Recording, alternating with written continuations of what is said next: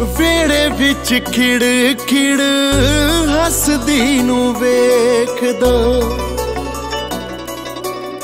ਨਿੱਕੇ ਨਿੱਕੇ ਪੱਬ ਜਦੋਂ ਚੱਕਦੀ ਨੂੰ ਵੇਖਦਾ।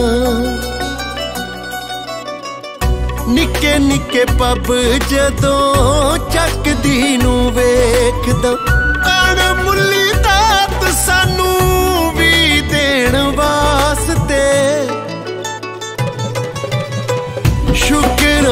ਰੱਬਾ ਤੇਰਾ ਤੀ ਦੇਣ ਵਾਸਤੇ। ਸ਼ੁਕਰਾਨਾ ਰੱਬਾ ਸਾਨੂੰ ਤੀ ਦੇਣ ਵਾਸਤੇ।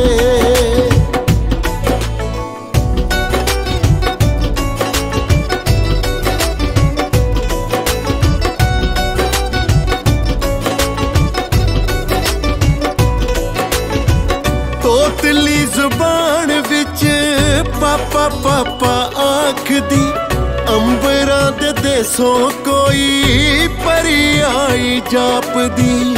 ਅੰਬਰਾਂ ਦੇ ਦੇਸੋਂ ਕੋਈ ਪਰੀ ਆਈ ਜਾਪਦੀ। ਸਾਡੇ ਘਰ ਇੰਨਾ ਸੋਹਣਾ ਜੀ ਦੇਣ ਵਾਸਤੇ। ਸ਼ੁਕਰਾਨਾ ਰੱਬਾ ਤੇਰਾ ਧੀ ਦੇਣ ਵਾਸਤੇ। ਸ਼ੁਕਰਾਨਾ ਰੱਬਾ ਸਾਨੂੰ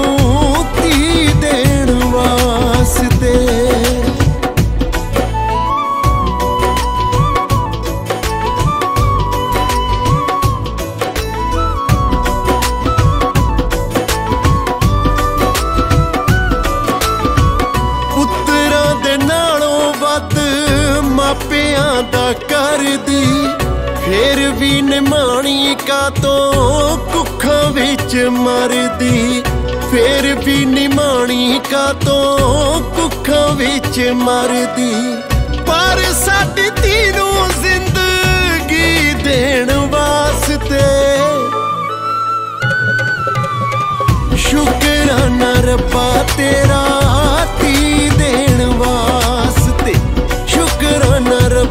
ਸਾਨੂੰ ਤੀ ਦੇਣ ਵਾਸਤੇ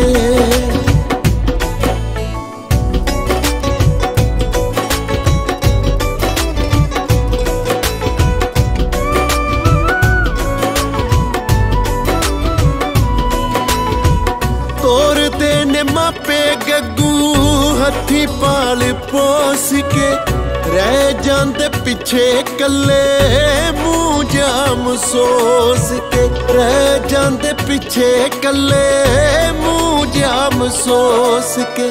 ਪੁੱਛਦਾ ਵੀ ਮਣੀ ਹੋਰ ਕੀ ਦੇਣ ਵਾਸਤੇ।